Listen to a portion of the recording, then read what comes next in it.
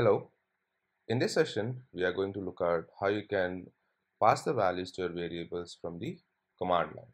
So in the last session we looked at how you can uh, call the variables or how you can refer the variables within your configuration files and we also looked at how you can make use of the default to pass the value to your variable. So for example here if you look at this file I'm making use of this default to pass the value.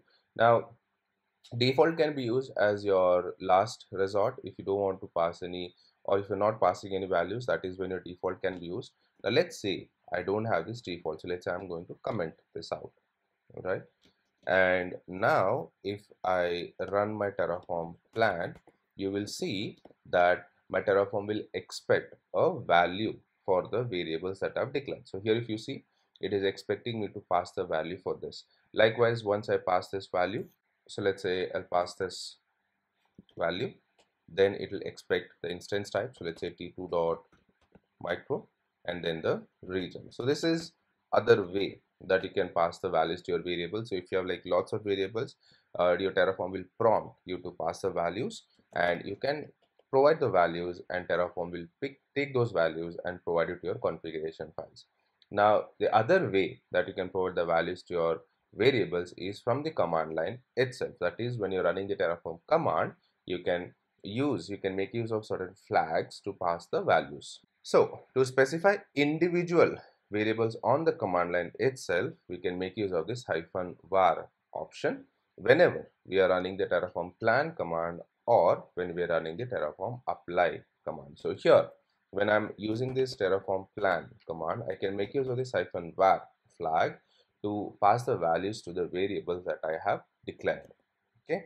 So here for example this is how you can make use of it. So I can say terraform plan hyphen var equals to in quotes double quotes your variable name the label name and the value that you want to use. You can also pass multiple variables within a single line command if you want like if you have declared multiple variables then we can make use of this hyphen var flag multiple times to pass the value. So let me show you an example for this over here.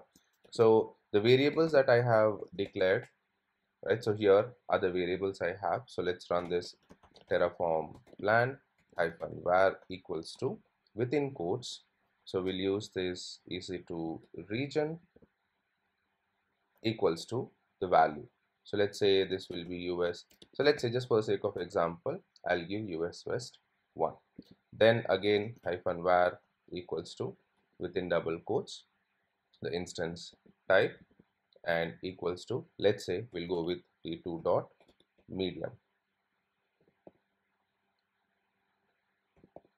Then again hyphen var equals to the third variable equals to the value. So this is how you can pass the values to your variables from the command line. When you're running the terraform plan command or when you're running the terraform apply command. And when, when I run this terraform will take these values provided to the configuration. So you can see here.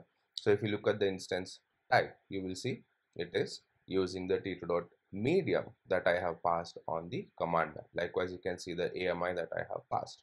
So this is another way for you to pass the values to your variables when you're uh, running the terraform plan command or the terraform apply command. So i can make use of this when i'm using the terraform apply command as well. So here i can say terraform apply and i can pass this to uh, provide the values to my terraform configuration file. So you can see this also works.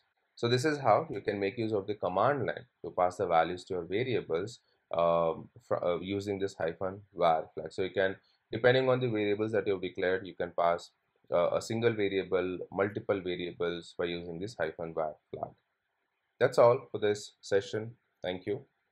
Once again before you leave please don't forget to subscribe to the channel. And if you like the video leave a like and please share the video